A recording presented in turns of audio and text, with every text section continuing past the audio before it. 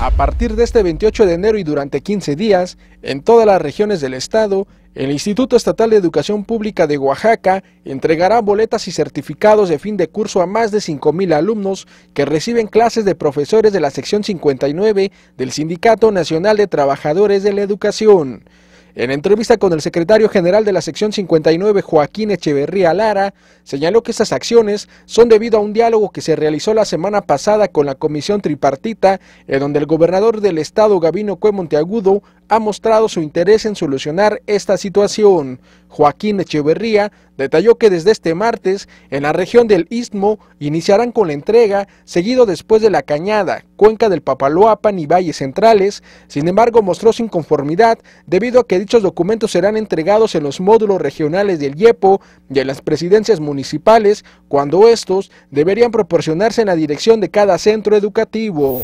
En ese sentido, pues nosotros pues de hecho no estamos del todo de acuerdo eh, para que se entreguen de esta manera, sin embargo pues estamos comunicando ya a los padres de familia ese calendario y que se presenten ellos ante las autoridades ahí para que reciban su documentación.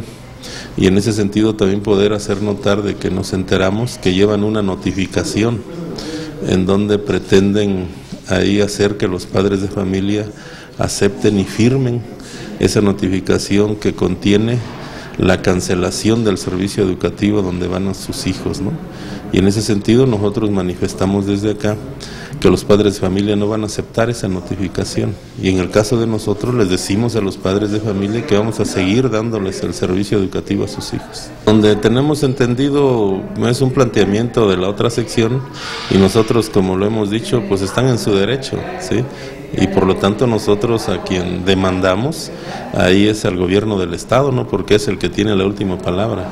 Y, bueno, eh, esperemos nosotros que pues no haya ningún incidente en este tipo de entregas. ¿no? Echeverría Lara confió que la entrega de documentos se haga conforme a la ley sin seguir afectando más a la niñez oaxaqueña. De igual manera, exhortó a la Secretaría de Educación Pública a que solucione la situación de la educación en el Estado. En ese sentido aprovecho para aclarar, la Secretaría de Educación Pública no está interviniendo en esta actividad. Eh, ellos están en lo que les corresponde y no hay una situación de que ya la SEP esté interviniendo para que ellos hayan sido los que determinen esta entrega y todo lo demás. Lo que sí queremos informar es de que ante esta cerrazón del, del gobierno, eh, lo que nosotros venimos haciendo son gestiones ¿sí? ante el gobierno federal de manera específica para ver la manera de que sea por la Secretaría de Educación Pública la que nos atienda. Las razones cuáles son? La primera es el rechazo que, y razón que manifiesta el gobierno del Estado ante todo lo que tiene que ver con la educación ahí de los alumnos y los derechos de los maestros que estamos agremiados a la sección 59. Entonces, estamos en las gestiones. Con imágenes de Alan Ramírez informó para MBM Televisión Irán Sánchez.